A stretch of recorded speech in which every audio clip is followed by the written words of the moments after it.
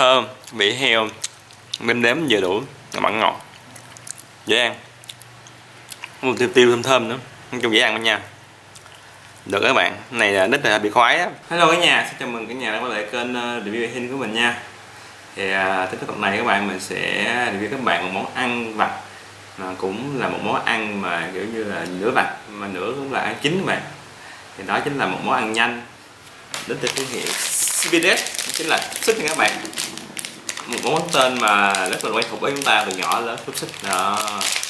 Rất nhiều thương hiệu nha. Hồi xưa là Nissan nè rồi nhiều thương hiệu lạ. Nhưng mà sau đây thì có thương hiệu này khá nổi tiếng gần đây mà nó CP nè. Đó chuyên về heo.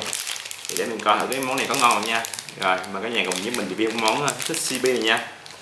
CP Red ok nha. Đây là cái uh, thương hiệu hút xích CP đây. À, trọng lượng của cái bịch này là 200g là một gam một cây là 40g à, rất là ngon ha. À, mà giá cả về các bạn mà mua thì mình sẽ để lên shopee ở dưới. Các bạn nhớ vào mô tả nha sẽ có nha. Ok bây giờ mình sẽ review món này nha. CB Red. Ok mình sẽ cắt ra thử nha. Tiết chung. À, vậy ha. Tiết chung là khử trùng hoàn toàn các bạn nha. Thanh trùng là vẫn còn bi trùng nhưng mà thanh trùng thì nó sẽ còn là những dưỡng chất. Tiệt trùng nhiều khi nó mất hết chất luôn nên là có cái lợi hại nha. Nhưng mà đối với nít thì nên ăn tiệt trùng là nên tốt hơn sức khỏe hơn. Nha đây sẽ cho các bạn xem. À, các bạn có thể nếu mà không có cái dao kéo các bạn thấy này nè. Quặn này nè bạn. Quặn quặn quặn quặn quặn quặn quặn quặn lại. Thì nó sẽ bị ờ, cái này nó bị sắn các bạn rút ra cũng được nha. À, làm thì được nhưng mà nó hơi không được đẹp lắm nó bị hơi bị lồi gớm. Nên, nên mình sẽ cắt các bạn xem cho thẩm mỹ xíu nha. Này cắt cả nhà nha. Đó, cắt thì đẹp hơn. Đó, cắt nghĩa đều hơn. Đó, còn nếu bạn quấn quấn kia thì nó sẽ bị lòn cũng hơi bị ghê. Đó. này à, đó, cái màu đặc trưng của dòng ờ, xúc xích nha. Đó. thơm mùi heo các bạn. Đó. này cái mùi giống kiểu heo hộp á heo, heo lá hồi xưa mình ăn á. Đây. Uhm. rất là đặc ha. Đó, đặc đặc nguyên luôn không? Giờ mình sẽ thử miếng cái nhà nha. Ok nha uhm ngon mà. Bây giờ sẽ bị thịt heo. Nhưng mà cái này không có trộn bột rồi nè. Tức là nhưng mà quan trọng là heo bị heo nhiều. Cái cái xúc xích các bạn các bạn mình lưu ý dòng nào mà càng rẻ thì bột càng nhiều nha. Hay như mà dòng mà rẻ thì lượng bột với 50 phần trăm, thịt nó 50 phần trăm. Còn nếu mà dòng mà mắc tiền thì lượng bột chỉ ít thôi, hai ba phần trăm. Còn lượng thịt thì nhiều hơn 70 phần trăm, ví dụ vậy đó.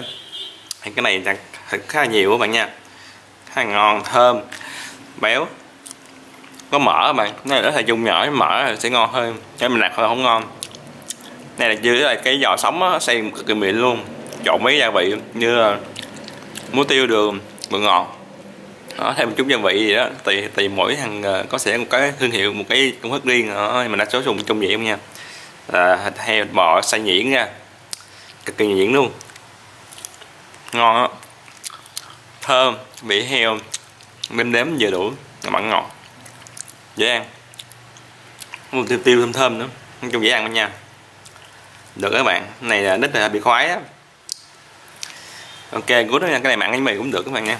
Làm pizza cũng tuyệt vời nói chung là đỉnh. Thử bạn nha khá là ngon á. Ok các bạn đây là cái đối diện cái, cái, dòng ờ, review cái dòng ờ, xích của CBS nha. Thì dòng CBS này là ngon các bạn nha. À, thịt, thịt heo khá là nhiều rồi thơm. Rồi nó có bị à, mỡ nữa mấy bé mỡ nữa mà nó rồi có gia vị đầy đủ luôn chung rất là dễ ăn nha. Người lớn thì cũng dễ ăn được. Cái này có thể làm kem chiên làm pizza làm bánh rồi các bạn muốn bỏ gì không được nó dễ ăn lắm. Ăn mì cũng ngon tuyệt vời.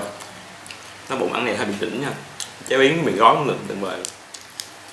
Cho sinh viên á mì gói bỏ lại vô xào ăn ờ, luộc cũng ngon. Không có chê, tại vì cái sách thì hầu như các bạn nó quen biết. Cái Việt Nam về truyền thống thì ok. Muốn nha, thử nha nha, ngon